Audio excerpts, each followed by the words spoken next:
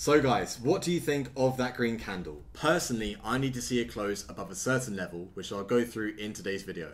I'll also be going through the market in much further detail, covering the Elon Musk and Jack Dorsey meetup, and giving my thoughts and projections for the market for the upcoming weeks and also months. Now also be sure to like the video and comment down below what you'd like to see in the background. And so with that all being said, let's jump straight into the video. And just like that, all of a sudden, we are all bulls again. Now, I don't think that's the case. I do think we're in sort of a weird inflection in the market at the moment. What I think on a macro scale, overall, the big picture, in terms of the monthly candles, if we look at that, we are in a bull cycle, but this is the sort of the bear market, the correction within that bull cycle. And so 29k, that's a bear market apparently, but 31k, we're definitely in a bull market again, and everybody's happy, and we can go to sleep quite well. Um, I don't think that's the case. Um, there's going to be times where we see a lot of volatility in the market. We see Bitcoin test the 28.5k region, the 27.5k region, and probably a bit lower than that as well. I don't think we are out of the woods. But the overall perspective, the bigger picture when it comes to these sort of things is that the volatility is there. And that's a good thing at the end of the day. So yes, okay, it's good to see the green candles. It's good to see the green in the market today, but we're going to break everything down. We're going to go through all of the interesting information I've got for you in today's video.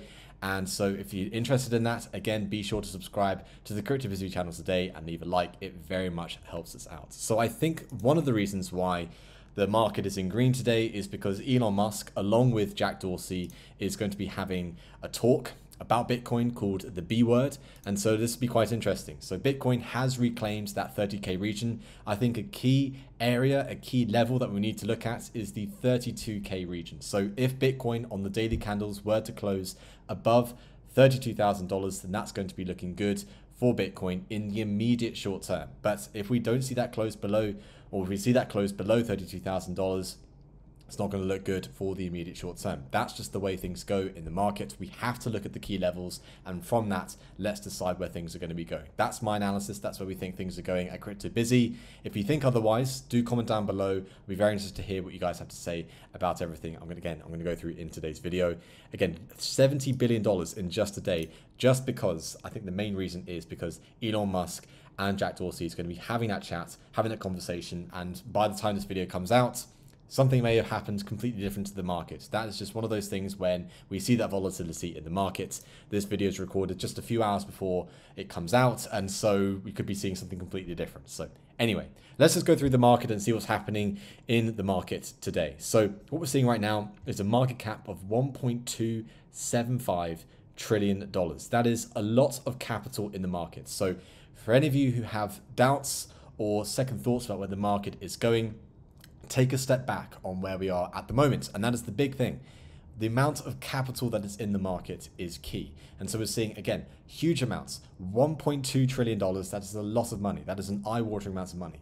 But when you compare it to the stock market or real estate or precious metals, it is just a small piece compared to the giants of the traditional finances that are out there. So I believe there is still room for growth. Now, the other thing we have to look into is also the Bitcoin dominance. It is around 46%, and so Ethereum's dominance is around 17% and nearly 18%.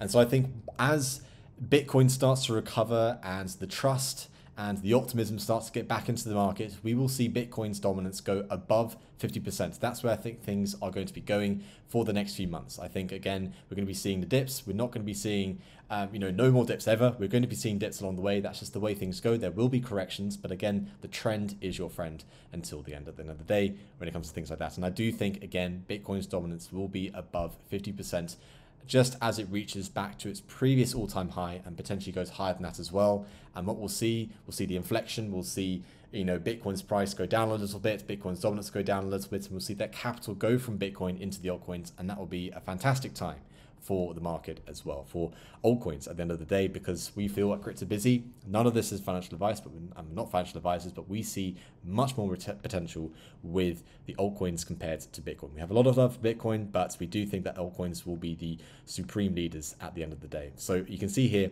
Ethereum is up 9%, XRP is up you know at 5%, already 6% today, Cardano 10%. Cardano nearly hit $1 yesterday, which is absolutely insane. And if it were to go below one dollar, and if it do, if it does go below one dollar again, then I will be picking up some more Cardano. That is for sure. Mark my words. But also XRP as well, looking well. Dogecoin It's just it is what it is. I think that's tied into what's happening with Elon Musk, um, and then other things as well. So Polkadot up 13%. So it is good. We want to see that in the markets, that volatility. But that also comes with the price and the prices of Bitcoin. Now, also, what I found quite interesting is we just, if we look at the wider picture, this is also an important thing, and you must look at this and, and look into this as well and understand this if you don't understand it already or haven't seen this sort of information before. But crypto is in the financial markets. That's the way things are. And so is the stock market, and so is just everything else. Human interaction. It's just the way things are, and that's how you know the crypto market is built. And so if we think about it logically, this is from that Martini guy. Summertime is the worst time for the financial markets. It's just the way things are. People are on holiday. The you know the, the CEOs they're on holiday. They're out in Barbados or the Seychelles, wherever they may be. The sun's out, so they want to go outside. We want to go out for a beer or whatever it may be for a drink and, and going outside. And that's just the way things are. And so people tend to sort of stay away from what's happening in the markets, take away the interest and the way the volatility. So you may see sort of just a, a you know, not much volatility for the next few months.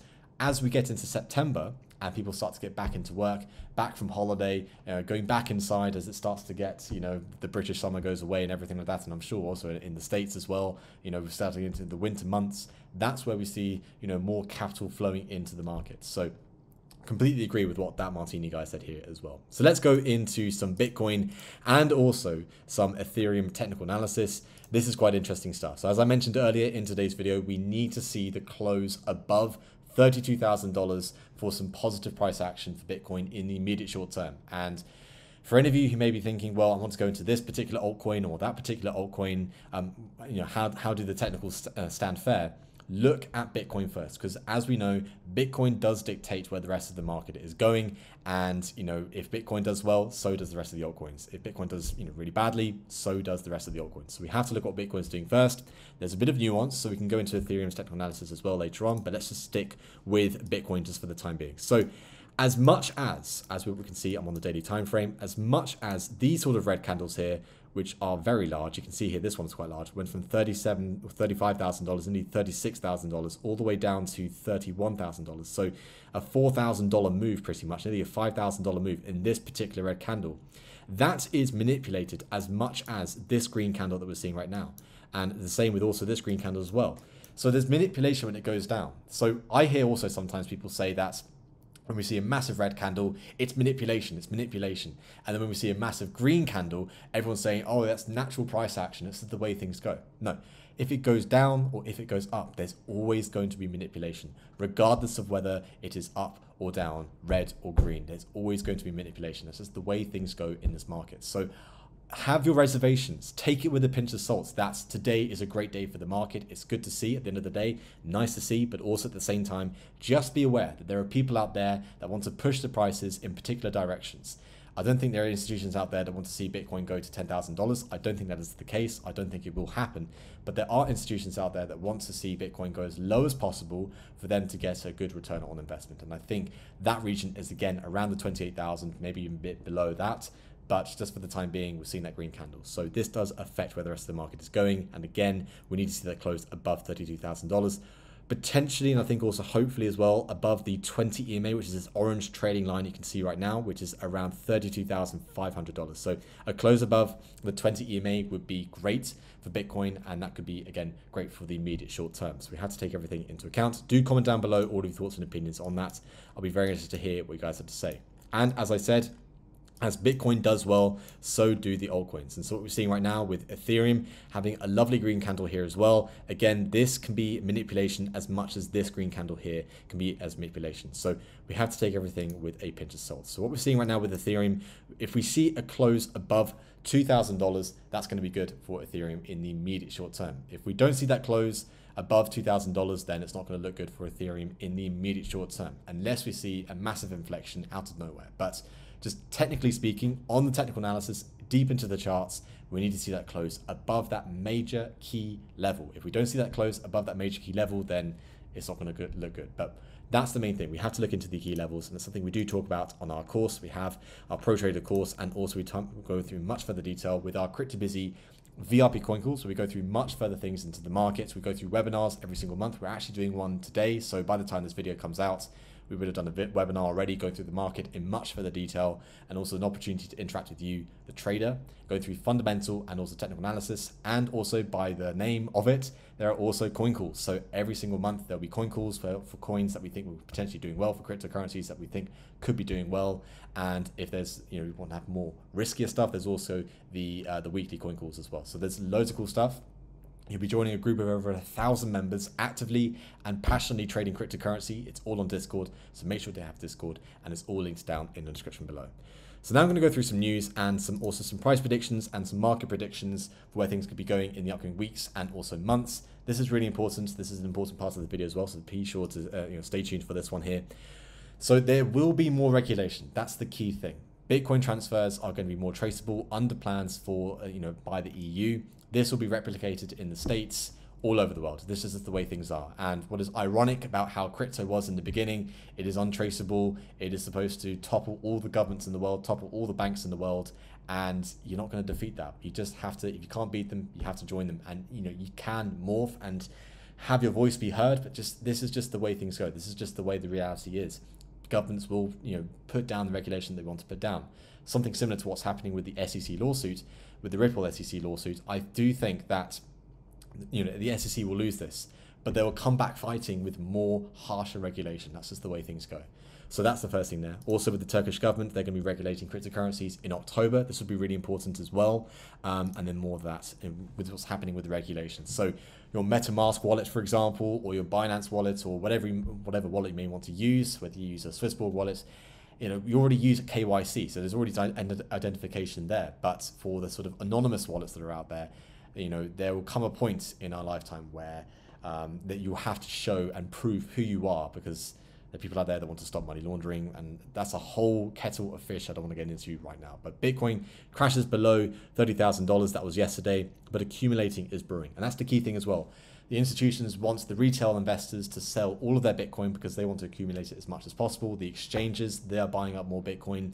Um, institutions, they're buying up more Bitcoin, and many other people as well. I think also central banks will be getting interested in what Bitcoin is doing as well. So, really interesting stuff that's happening behind the scenes. Also, on top of that, Josh covered this in yesterday's video. MasterCard simplifies card payments for crypto firms. This is really important as well, using the USDC, not USDT. Even though there was a lawsuit that was settled with Tether very interesting stuff that USDC has been used and picked by uh, MasterCard. So I think there's a bit more transparency behind USDC compared to Tether, and so that's why I think MasterCard went for that, and that is good news.